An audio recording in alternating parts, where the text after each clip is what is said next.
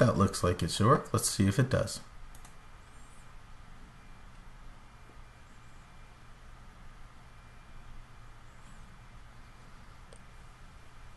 Well, that worked. Am I good enough? Can I go on?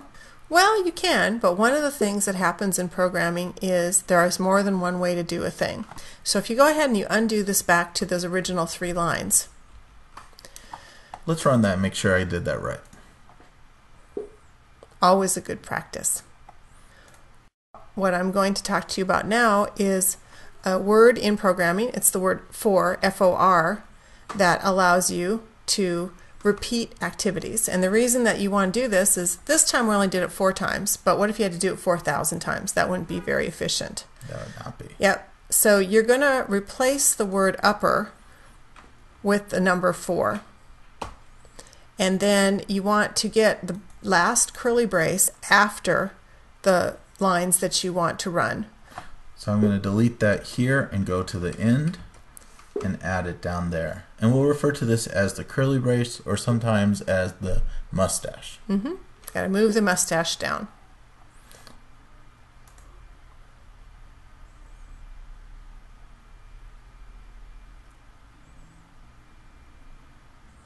And so that seems to be exactly the same as a copy and paste. It does, but like I was saying, often there's more than one way to do things in the world of programming. And in this case, you're using this word for because it's going to be providing us with flexibility that you're going to see later in the lesson. Great. So now you can get rid of which line because you translated it. Oh, well, I translated this line here. It's weird. It says 5.1. What's going on there? Well, what that means is that there's more than one line that you have to translate in order to complete it. So, do you see the match to that or something that looks like it'd be a match? Well, there's also a 5.2. Mm-hmm. And so is that really being translated just by this little mustache at the end? It is. It is. Cool. That was easy. Yep, So I can delete both of them. you can.